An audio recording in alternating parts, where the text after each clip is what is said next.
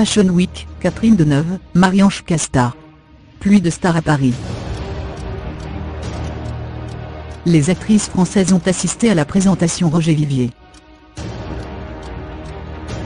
Après New York, Londres et Milan, c'est à Paris que revient le titre de capitale de la planète mode.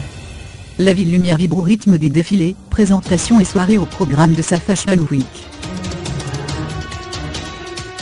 Catherine Deneuve, Marie-Ange Casta et Ned de la Fressange en ont donné le coup d'envoi mardi après-midi, avec Roger Vivier.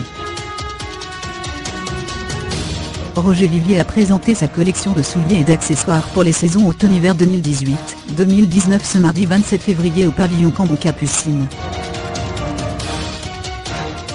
De nombreuses personnalités s'y sont rendues pour la découvrir et saluer son créateur Bruno Frisoni, qui quitte ses fonctions de directeur artistique au sein de la maison française.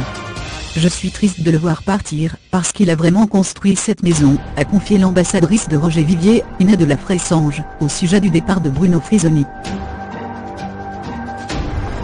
Marie-Ange Casta, Catherine Deneuve, vue le soir même au défilé Saint-Laurent, Dolores Doll, Anna Girardot, Aya Hidara, nommée pour le César de meilleur espoir féminin, Olga Kurilenko, Pauline Lefebvre, Aïssa Maïga, Alison Paradis et Elsa Zilberstein, ont toutes bravé le froid pour assister à la présentation Roger Vivier.